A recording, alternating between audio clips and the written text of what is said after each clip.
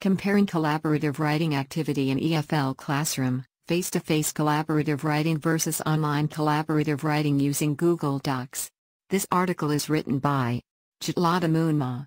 Collaborative writing is acknowledged as one of the most beneficial writing exercises for improving writing skills. This study aimed to look at the errors of online collaborative writing using Google Docs and face-to-face collaborative writing, as well as to find out how satisfied students were with both modes. Purposive sampling was used to pick 32 Thai second-year English major students, 19 females, 13 males, from writing 2. A record form of the error kinds derived from Norrish, 1983, a questionnaire, and a semi-structured interview were used as instruments. Frequency and percentage were the statistics used.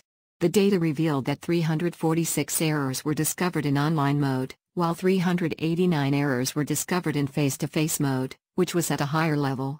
The most common types in the online mode were sentence fragments, while the most common kinds in the face-to-face -face mode were determiners. Grammars were presented to students in both modes, followed by lexis and mechanics. Furthermore, the findings indicated that the students reported being highly satisfied with online mode using Google Docs, x equals 3.50, followed by face-to-face -face setting, x equals 3.45. Students also had an overall positive feedback on Google Docs and found it useful in terms of writing anywhere and anytime. Based on the results of this study, students in online co-produce texts better than in face-to-face -face mode.